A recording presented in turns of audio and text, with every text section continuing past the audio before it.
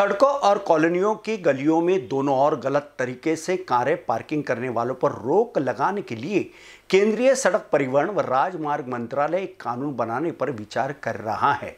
अगर यह कानून लागू किया गया तो ऐसे लोगों की शामत आना तय है। सड़कों और कॉलोनियों की गलियों में दोनों ओर गलत तरीके से कारें पार्किंग करने वालों पर रोक लगाने के लिए केंद्रीय सड़क परिवहन व राजमार्ग मंत्रालय एक कानून बनाने पर विचार कर रहा है। अगर यह कानून लागू किया गया तो ऐसे लोगों की शामत आनी तय है।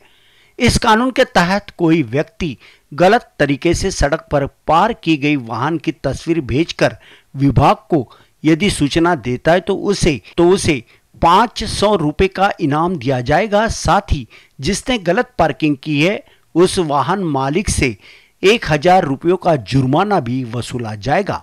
मतलब गलत पार्किंग की सूचना दो और पैसे कमाओ। अगर यह कानून आ गया तो नागपुर में तो यह अनेक लोगों का कमाई का ज़रिया बन जाएगा। और गलत पार्किंग करने वालों की शामत आ जाएगी। क्योंकि सिटी में तो हर सड़क, अंदरूनी सड़कों और गलियों तक में लोग अपने फोर व्हीलर ऐसी खड़ी करते हैं, मानो ज़मीन उनकी हो। पार्किंग की जगह ही नहीं बनाई। अमूमन हर मध्यम वर्गीय परिवार में एक कार तो है ही। लोग अपनी सुविधा के लिए फोर व्हीलर को खरीद लिए हैं, लेकिन उनके घरों में कार रखने की जगह तक नहीं है। ऐसे में ये अपने घरों के सामने गली में बाउंड्री वॉल से सटाकर गाड़ी रखते हैं। ऐसा दोनों साइड होता है, जिससे संकरी गली और संकरी हो जाती है। ऐसे ही हाल बाज़ार क्षेत्रों का भी है। इतवारी, गांधी बाग, गोकुलपेट।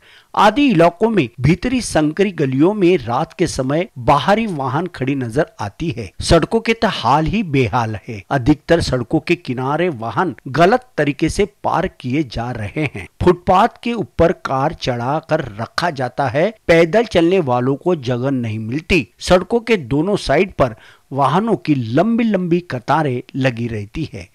आरटीओ कार्यालय से संजय मिरे बीसी न्यूज़ नागपुर।